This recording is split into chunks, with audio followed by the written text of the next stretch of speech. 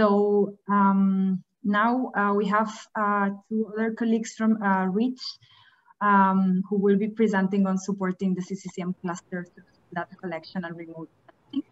Um, the presenters will be Arthur and Matt. Um, guys, are you there? Yep, uh, I'm here. James, uh, Matt, are you here? I'm here. Perfect. Okay, I think me, the uh, previous uh... colleagues colleagues have to stop sharing their screen.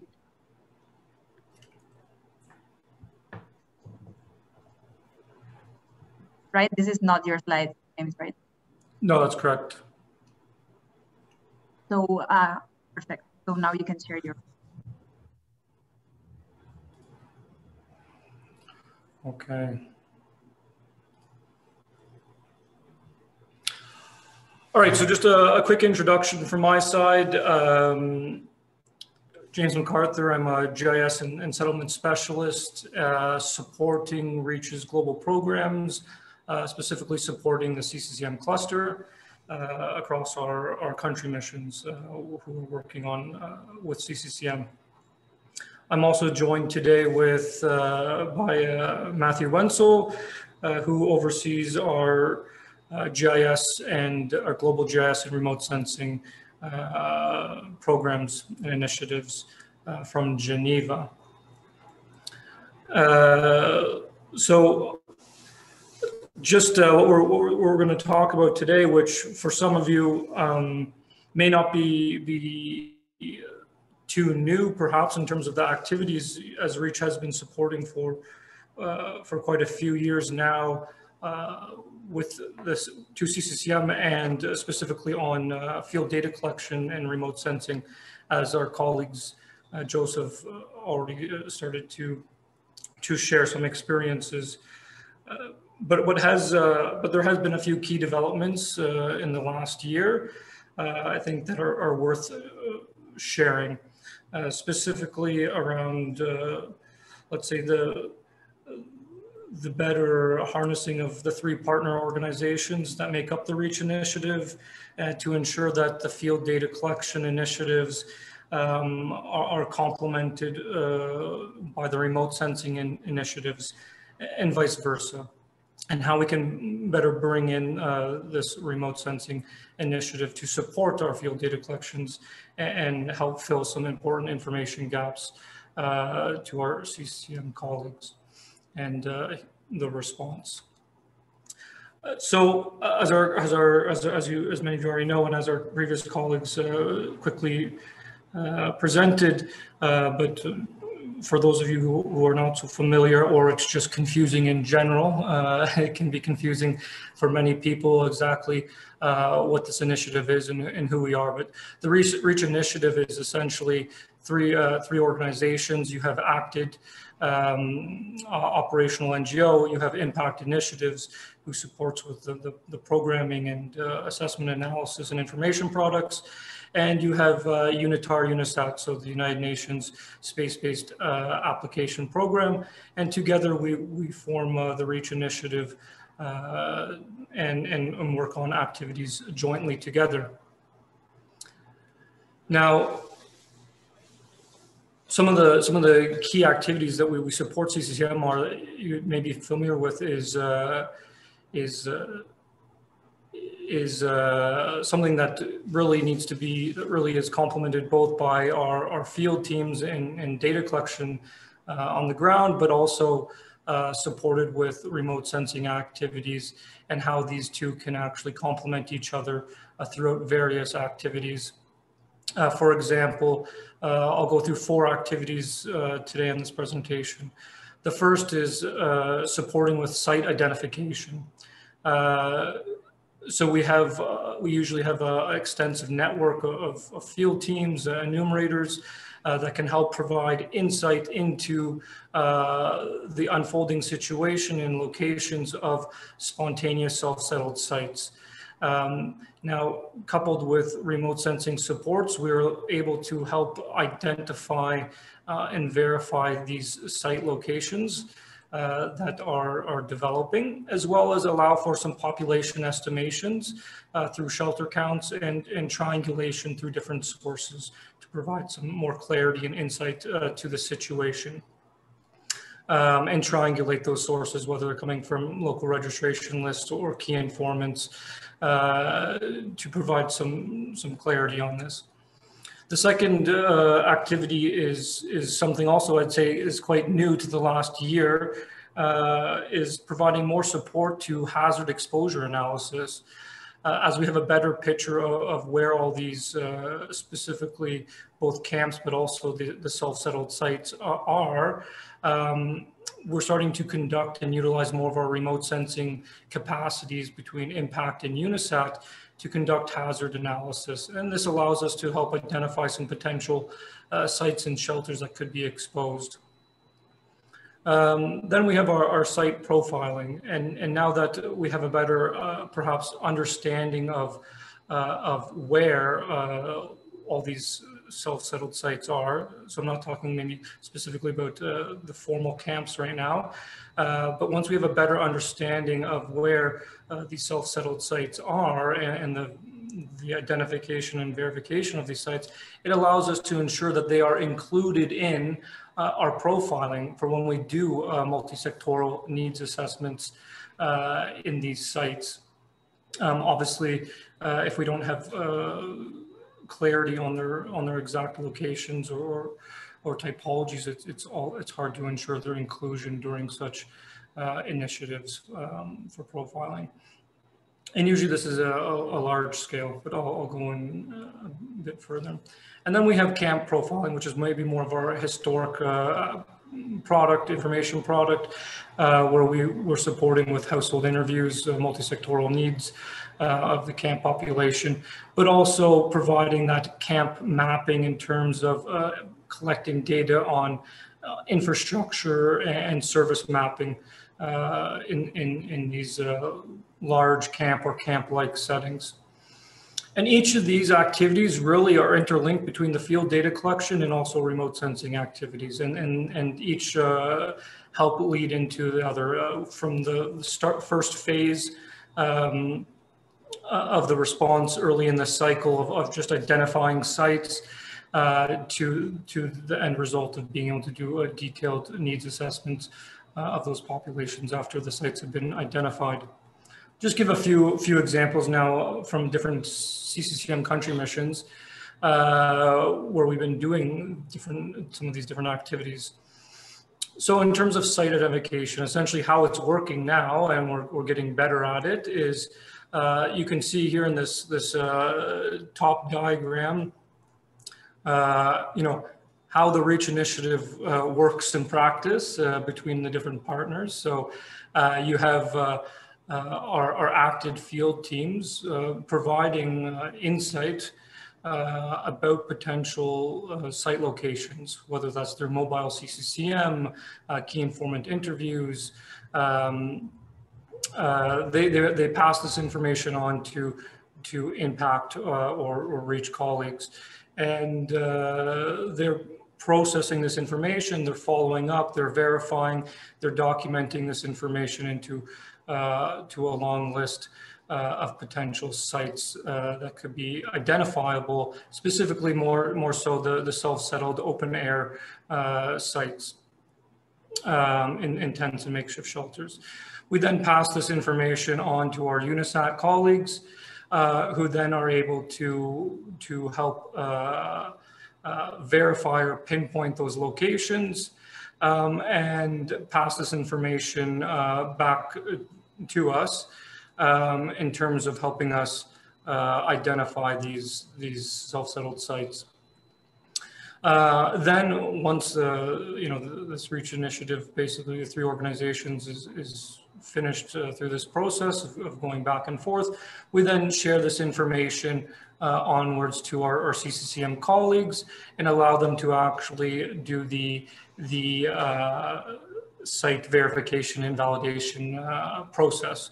Um, uh, and, and, share this information onwards to them where they can actually then go uh, through their field teams and, and verify such data. So that's one example. That's an example of how that process works. And you can see a real example here through a hard to reach area in a Afrin district in Northwest Syria, uh, where you have perhaps limited capabilities of, of, uh, of doing um, direct data collection or site visits, but uh, through some knowledgeable key informants, uh, through satellite information, we were able to, you know, identify specific self-settled uh, sites um, and share this information uh, to the CCM cluster. Now, a lot of this, and depending on the country context, a lot of this is quite sensitive information, and it's usually shared just bilaterally with uh, our CCM colleagues. This is not something that you would maybe find on the Reach Resource Center or Relief Web, because this is uh, sometimes seen as quite sensitive, very specific locational information of displaced people.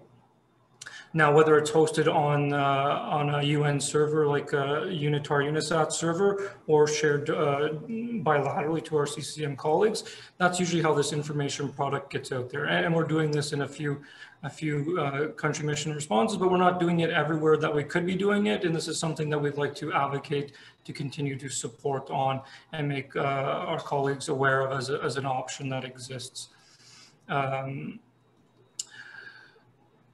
now, uh, just another example, also from a larger scale. It's a bit harder, a bit more time uh, uh, uh, resource heavy, but we can do things at a, at a, much larger geographical scale, looking at entire districts um, where we're, we're, we're, instead of being provided a very specific locational information, perhaps from, from field colleagues, but actually looking ourselves uh, and combing through recent satellite imagery. So the ability to actually move satellites to collect uh, images from specific uh, areas of interest to the CCCM cluster uh, on a wider scale and then comb through the data uh, at a finer level to try to even identify these, these uh, spontaneous settlements, self-settlement sites.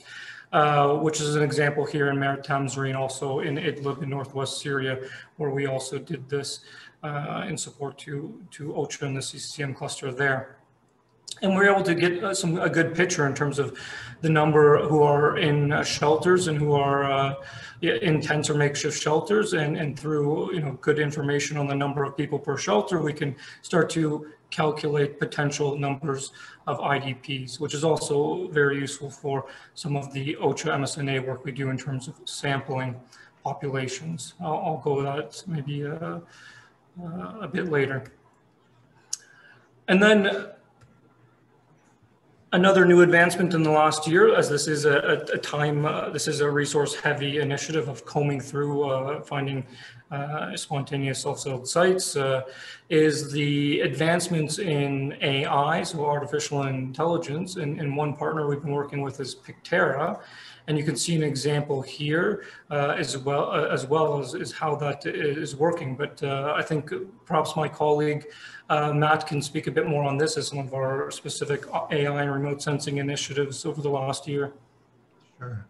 So historically, um, all of the remote sensing analysis that we've done for, for sites and, and shelters has, has been manual. And normally this isn't so tedious uh, at the individual site level, but in, particularly in Northwest Syria when we're looking at wide territory, um, we can we can do very good, detailed, accurate analysis of these territories, but it takes so long that by the time we get to an output, it's outdated. And we've seen a lot of rapid shifts recently um, that have pushed us to come up with ways to do the analysis much faster.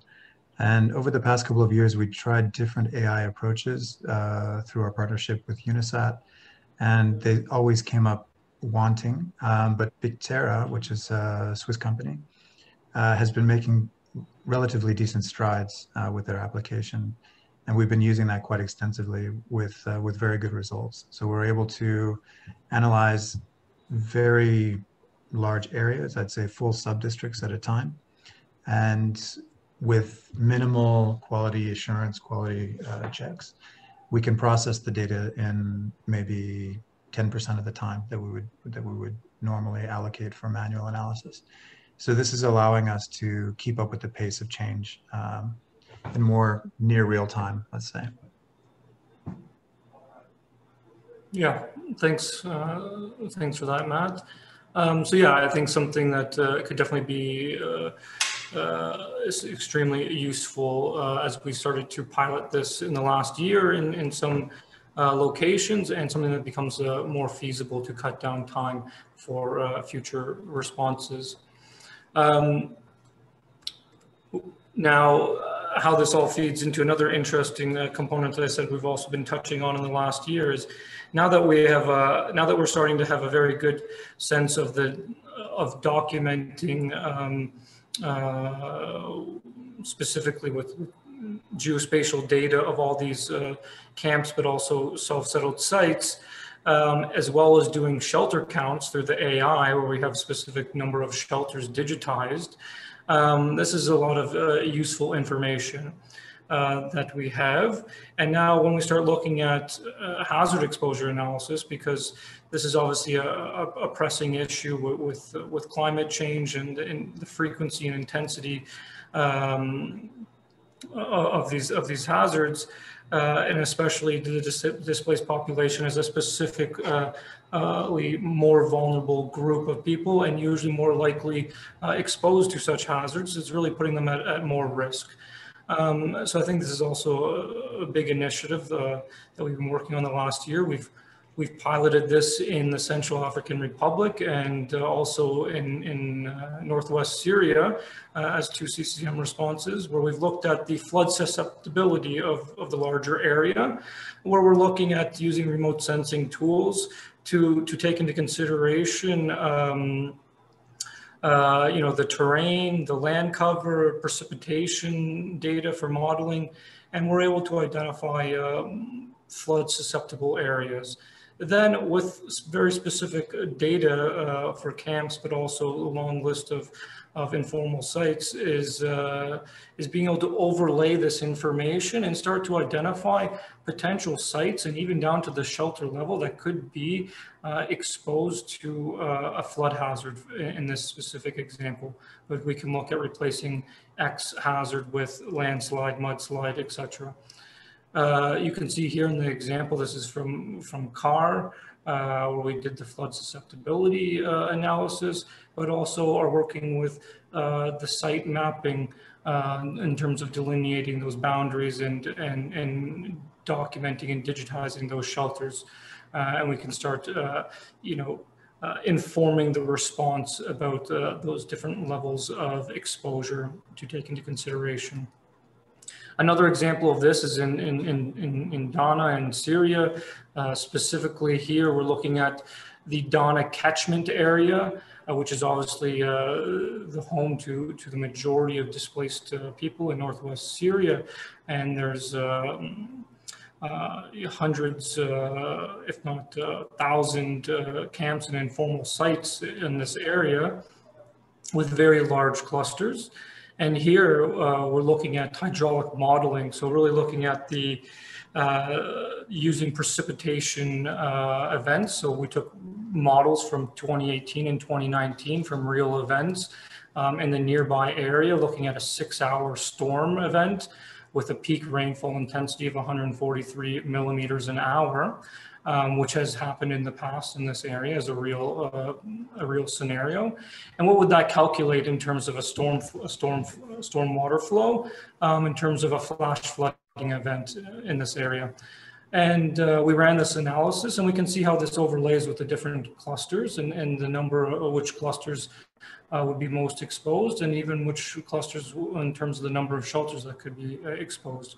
We identified um,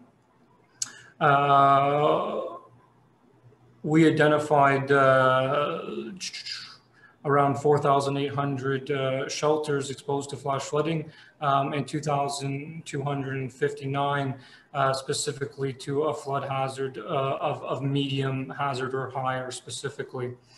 Um, which just to put out there, there's there's uh, Matt. I don't know. if You can quote me. I think there's around 120,000 shelters. There's a lot there uh, in this specific area. Uh, and you can see here in some specific examples of, of the, the, granular detail that we're able to, to, to provide uh, to, to the response. So you can see here an example, zoom in from ATMA in 2015. Uh, you have these, uh, oops, you have these uh, sites where where I, where the the terrain and the flash flooding, which which really uh, happens every winter in the rainy season, um, you know, some of this area is, is quite known to the population. Uh, but as people settle and as things expand, um, uh, and and and and those those displaced populations, uh, maybe he's not really taking this into as the primary concern, but you can see how, how eventually as settlements uh, grow into new areas, they can start to settle into areas that have been uh, historically known and are known to, to uh, be more susceptible to flash flooding. And we're able to identify those specific areas and, and shelters. I think this is um, something that's interesting to take into consideration, um, both from the very onset of a crisis um, in terms of uh, of site uh, identification and locations, but even uh, afterwards in terms of talking about preparation and mitigation efforts in advance of rainy season, winterization, etc. Um, so this is something we've we've we've now done in uh, two or three uh, country missions, and something that we think is very interesting uh, to to move forward with and work in partnership with with the remote sensing efforts of impact and and and and um, our colleagues ACTED who are involved a lot in, in, in camp management as well and, and the CCM cluster. Okay, uh, a few minutes here, but I'll uh, move on to site profiling. So like I said, the ability of knowing specifically where all the informal self-settled sites are allows us to include them into site profiling exercises. So it's very important, this linkage of, uh, of identifying and, and, verifying these sites so that they can be included in such field work and assessments that uh, our Act and Reach colleagues carry out. Um, and the interesting th thing here about these these site profiling initiatives that we would do in Iraq and Yemen and um, uh, Somalia, uh, etc., is that uh, sometimes in the big, the biggest, uh, you know, data collection uh, in terms of the HNO, HRP, and uh, the MSNA is that usually actually you won't find a disaggregation. You may find a disaggregation of, of IDP uh, versus host community. You may find a disaggregation of IDP in camp, but most likely you won't find a disaggregation about the needs of IDP specifically in sites um, whether that's collective centers or self-settled sites, etc. So sometimes really uh, this this subpopulation group is is a bit missing in in the overall uh, picture. Um, and I think that these that these targeted assessments specifically to this subpopulation group are very informative uh, for their situation and needs. And I think we can do a better job of feeding that into the HNO HRP process um, as we we do this uh, for informal sites specifically. And then lastly, the camp profiling, like I said, this is something that we've done quite historically um, and that we continue to do. It's, it's a more detailed analysis. We're talking about household interviews that are you know, statistically representative of the, of the population and really trying to benchmark uh, the, you know, the minimum standards um, you know, sphere standards, et cetera, uh, in terms of are we meeting those targets. And usually we try to do these uh, different frequency intervals, whether that's annually, biannually, quarterly, and we can start to actually compare uh, previous rounds to, to, current rounds and see that actual change in those uh, sectoral standards um, to, to do some trends analysis to see if there is improvement uh, in the situation. And then the other component specifically from the remote sensing side is again helping with the infrastructure mapping um, of services. So we can better understand where wash infrastructure is, where water access points are, where latrines are, uh, how, where the health facilities are, where our registration areas, um, food distribution points, uh, and a lot of this also fits into some interesting gap analysis, geospatial analysis. There's a lot of standards that are based on, you know, how far is that water access point? How close is that latrine to this shelter? Fire breaks uh, are, are, are, camps that are, you know, informal or self-settled camps uh, being, uh, you know, designed or implemented without respecting the, the, the needed fire breaks uh, between shelters or between sectors. Um, so there's a lot of interesting things that we can also help with from the remote sensing and GIS perspectives of helping confirm um, or, or investigate such a, such standards that we can assist with.